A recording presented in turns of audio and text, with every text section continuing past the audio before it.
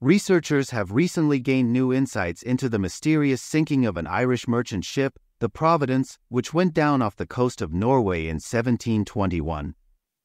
The Providentz, owned by Joseph and Walter Lavitt, influential figures from Cork, Ireland, was a merchant vessel laden with butter, corn, grain, and malt. It set sail from Cork on September 22, 1721, destined for Arendal, Norway. On October 16th, the ship arrived near Mandal in southern Norway, where it waited for favorable weather to complete its journey. After nearly two weeks, on the morning of November 9th, a local pilot boarded the Providentz to help guide it safely out to sea, a common practice in the region. However, the ship's journey quickly ended in disaster when it ran aground on islets and reefs near Mandal. A breach in the hull caused the ship to sink rapidly, but fortunately, the crew escaped unharmed. The sinking sparked significant debate at the time, with differing accounts from the crew and the pilot about the cause of the wreck. A court trial later that month sought to determine responsibility for the shipwreck.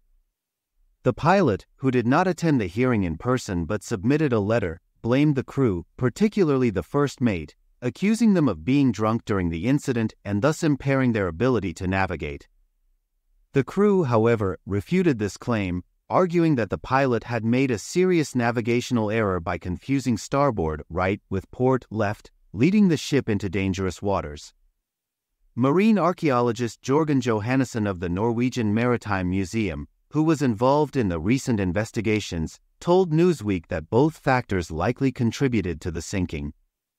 Although some crew members may have been drunk, as the pilot claimed, it is likely that his navigational error overshadowed this issue.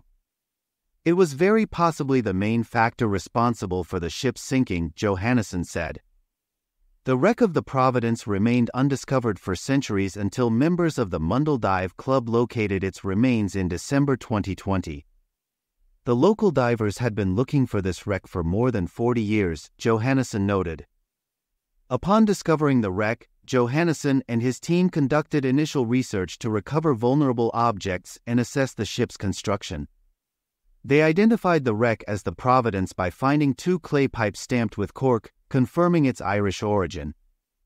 According to Johannesson, the vessel was built in the Dutch tradition, as evidenced by the extensive use of iron rivets and nails in the hull. Dendrochronological analysis of wood samples from the ship revealed that it was likely built around the year 1700 using oak from northern Germany. We have sent more dendro samples, so maybe there are some new surprises for us, Johannesson added.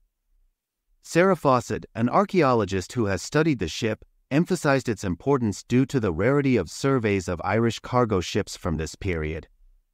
The Lavitt family, who owned the ship, were key political and financial figures in Cork, with both Joseph and Walter Lavitt having served as mayors. Large areas of Cork are named after them, and their involvement in trade with Norway reflects a broader network of commercial connections in Western Europe during the early 18th century.